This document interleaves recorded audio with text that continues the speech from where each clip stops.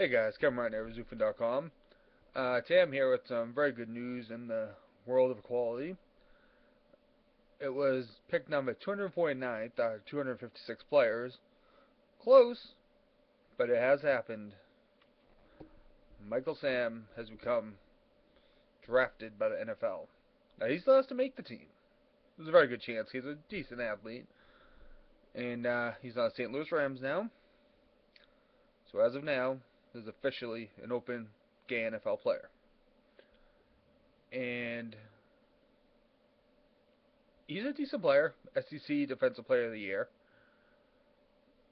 But I I have to wonder how many teams passed on him because of his being gay.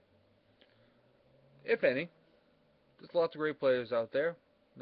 Not every player, even if they're good, are, are to fit with the team. There's only so many slots. So, I'm just wondering,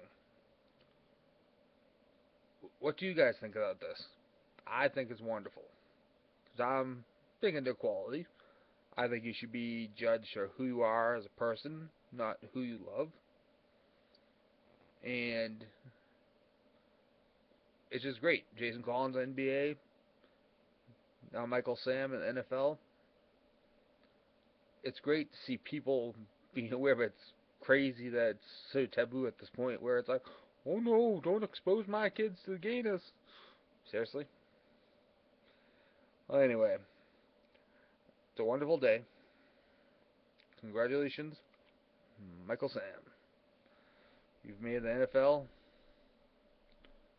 a more equal place for everybody. And hopefully you inspire some people to come out and be who they are and not to be afraid.